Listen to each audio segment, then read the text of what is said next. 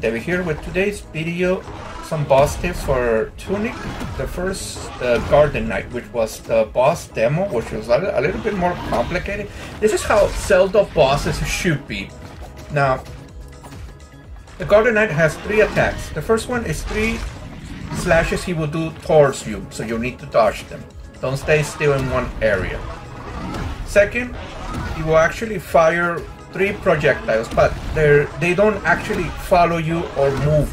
They will fall. They will just fire in a single line, but you really need to dodge them before he starts firing. That way, you can move around him and hit him. And the third attack is a sweep, then also a uppercut. Now, the first two attacks, where he does three slashes and also fires, you must use the lock on him when he when you dodge three times, make sure you time your dodges. That way you can recover a little bit of stamina. And just move in close, hit him two times. Two times is safe. Three times is better.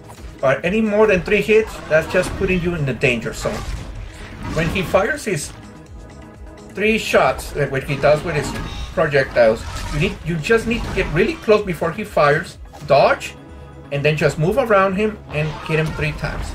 Now, with the sweep and uppercut attacks that he does, don't use the lock on him.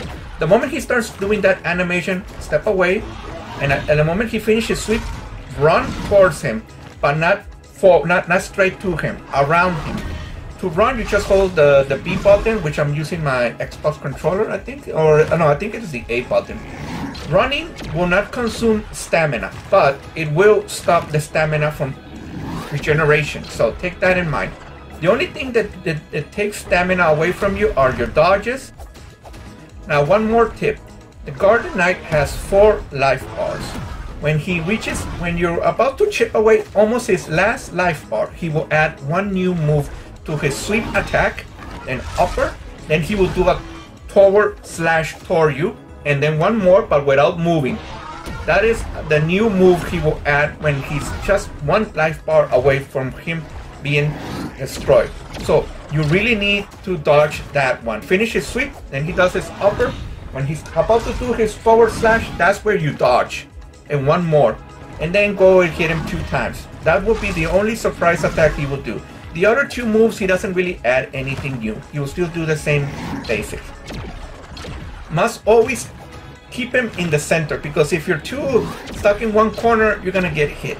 And this guy does massive damage. My current attack is level 3 and my stamina is level 2. These you can get these before facing him if you just browse around. Now a pro tip, a very important tip. Just as the moment his animation is when he's about to wake up, you can land 9 hits on him, even 12 hits.